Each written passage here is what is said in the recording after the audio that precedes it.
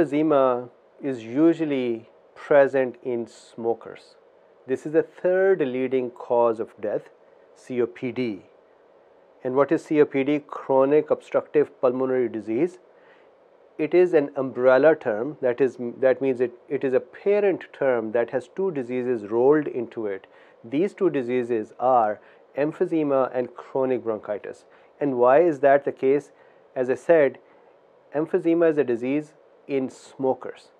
Smokers also have a disease present normally with emphysema and that is chronic bronchitis. And I'll explain why this is combined. However, just keep in mind that emphysema and chronic bronchitis together are called COPD.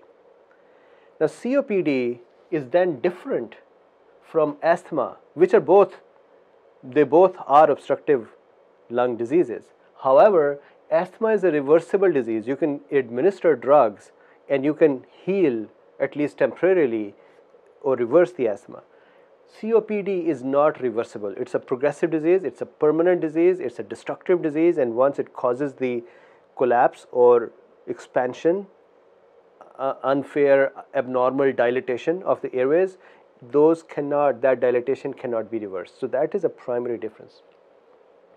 Now, what is the difference between chronic bronchitis and emphysema? This lecture is about the emphysema, so I'll stress on that. However, let me quickly explain the difference in chronic bronchitis and emphysema.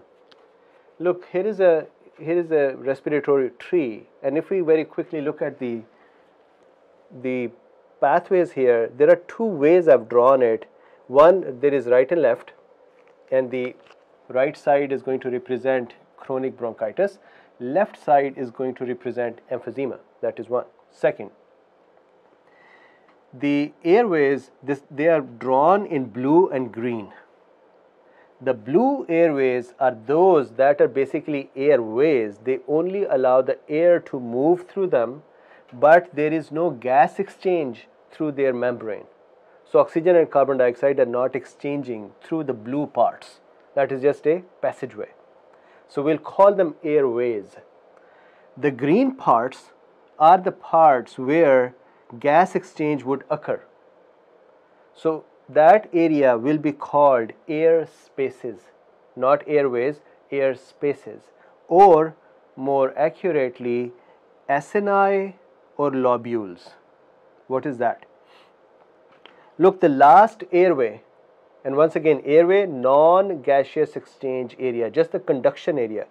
The last part of the airway is called terminal bronchiole. So, these are the terminal bronchioles that are finishing at the green parts. These are all terminal bronchioles. That is one. The terminal bronchioles then become continuous with the respiratory bronchioles and the gas exchange starts there. Respiratory bronchioles can divide up to 3 to 5 branches, divide into 3 to 5 branches. These are the alveolar ducts and then alveolar ducts become continuous with the alveolar sac and that has alveoli. The last blind part, the closed parts are the alveoli. These alveoli are balloon-like structures which are present at the end like a cluster of grapes. So this portion that does the gaseous exchange, one alveolar duct, alveolar sac and the alveoli are, is called acinus. However, 3 to 5 acini connected together is called a lobule, respiratory lobule. Now, anatomically, the difference between chronic bronchitis and emphysema is the following. Chronic bronchitis is the destruction and dilatation of the airways, the blue parts. Do you see I have made the blue parts a little bit more dilated? So, the blue part so they are not doing any gas exchange, so there should be no problem. No, there is a problem. The problem is that they have the mucus secreting glands, plus they have the cilias that propel the fluids upwards. So when there is irritation, when there is inflammation of this area, the, there is hyperplasia of the mucus secreting glands.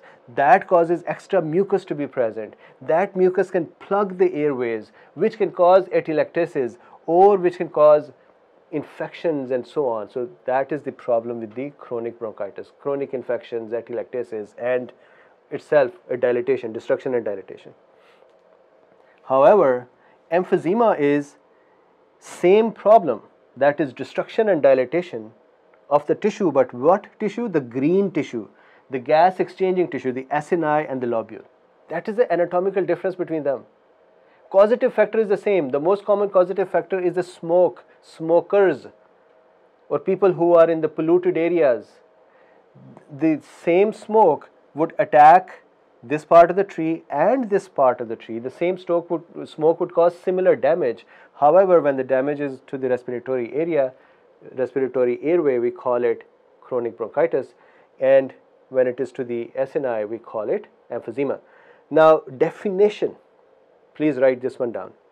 The definition of chronic bronchitis is not morphological. It's not something that you can go and look into the tissue, do a biopsy and say, okay, now I know that this is chronic bronchitis. It is more clinical. You say that a patient has chronic bronchitis if the patient has, if the patient has productive cough for three months or more for two years in, in a row. If you find that, then you declare clinically that the patient has chronic bronchitis. On the other hand, emphysema actually has a morphological pattern. You will be able to, if you do biopsy or if you take chest x-ray, you will be able to see dilated lungs and the broken down acini and the dilated ballooned areas in the, in the lobules. So this is morphological, this is clinical anatomically this is for the gas exchanging part and this is for the gas conducting part got it now the difference between asthma and the chronic obstructive pulmonary disease that is these two diseases together are called COPD asthma is reversible this is not reversible. Now definition. Like this video and smash that subscribe button as well and make sure that you hit the bell button and get the notifications for the new videos in the future